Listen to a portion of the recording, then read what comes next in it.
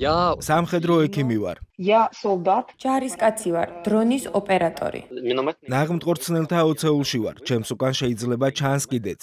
ვიქტორია ანასტასია და ალექსანდრი ლგბტკ თემის წარმომადგენლები არიან. ისინი უკრაინის არმიაში ფრონტის წინახაზზე იბრძვიან.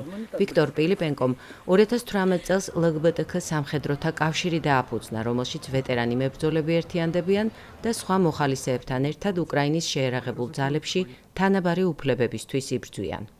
Звісно, მინდა რომ ჩვენმა ბავშვმა ყველა იმ პრივილეგიით ისარგებლოს, რომლებიც მე, როგორც სამხედრო მოსამსახურეს მეკუთვნის.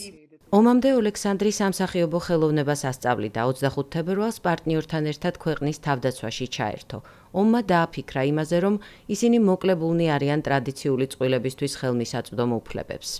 Э, перспектива смерти სიკვდილის შანსი ძალიან მაღალია. ეს გაიძულებს დაფიქრდე, თუ რა მოელის შენს პარტნიორს. შენი გარდაცვალების შემდეგ მას შეღავათები არ ექნება. ერთი და იმავე სქესის მქონეთა ქორწინების ლეგალიზაციის მიზნით მაისში ანასტასია სოვენკომ პეტიცია წამოიწყო.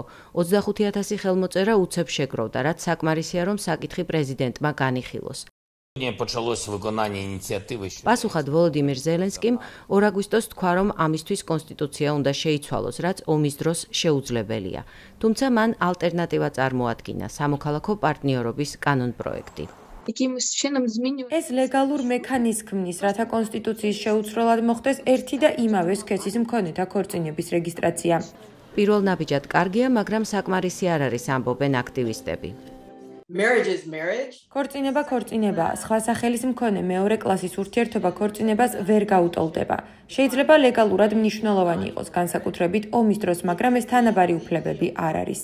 სავარაუდოდ კანონპროექტს უკრაინის მართლმადიდებლური ეკლესიის მხრიდან წინააღმდეგობა შეხვდება. თუმცა უმცირესობათა ამ ჯგუფის მიმართ საზოგადოებრივი აზრი უკრაინაში უკვე იცვლება.